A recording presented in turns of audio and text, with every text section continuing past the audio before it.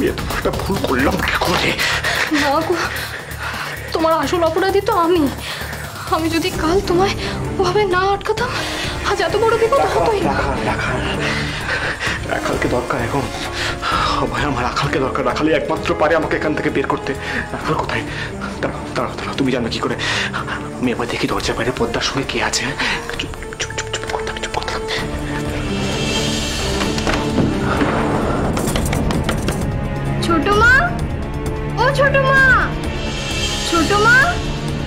ছোট মা।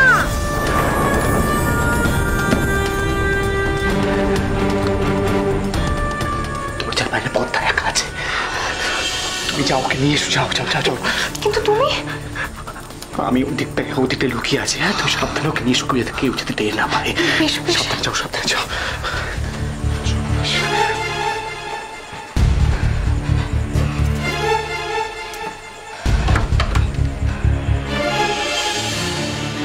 মা?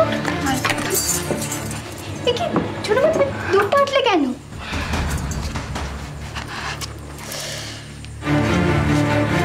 ছোট মা, দেখি। কি অবস্থা তোমার? ছোট মা, তোমার কি হয়েছে? তুমি আমাকে বলো। সে সে কাল থেকে তুমি দরজায় খিল দিয়েছ। আমাকে পর্যন্ত তুমি ঢুকতে দিলে না। বলো, চুপ করে আছো কেন? কি আবার হবে?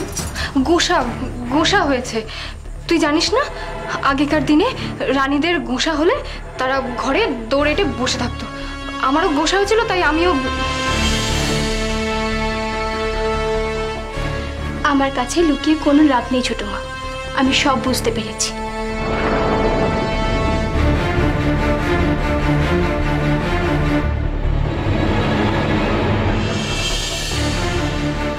সে কি? পদ্মা কি তাহলে জানতে পেরে গেল যে ওর কাকাবাবু এখানে এসেছে?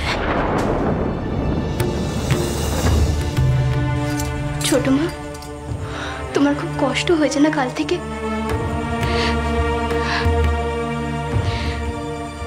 ছোট মা, আমার কথাটা তুমি একবার শোনো শোনো না।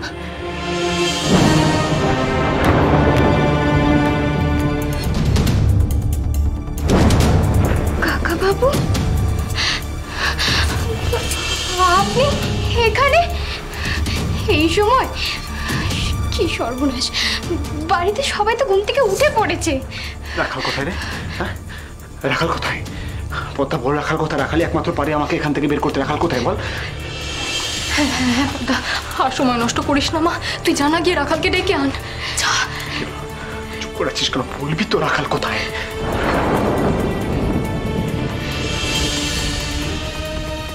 তো সকাল সকালে বেরিয়ে গেছে। আপনার কাছে যাবে বলে।